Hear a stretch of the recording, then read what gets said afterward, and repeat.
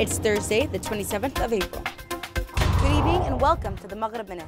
These are today's top stories. Ahmed Al Harthy and Oman racing teammate Jonny Adam made a perfect start to their Pro Am Challenge in this year's Blancpain Endurance Cup by taking a magnificent and history making first class victory in the globe's biggest GT series during a memorable opening race of 2017 at Monza in Italy.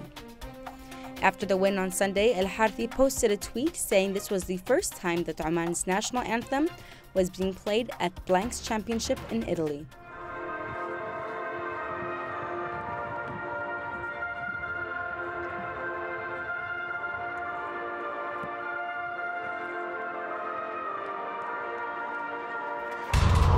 A two year old boy was rescued from a 16 meter deep well in Romania after a nearly 12 hour rescue operation by emergency services.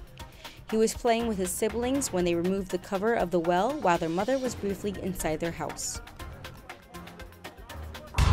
An Egyptian design duo has begun repurposing old steel shipping containers, transforming them into living spaces, shops, and restaurants in an effort to introduce residents of overcrowded Cairo to cheaper and more versatile properties.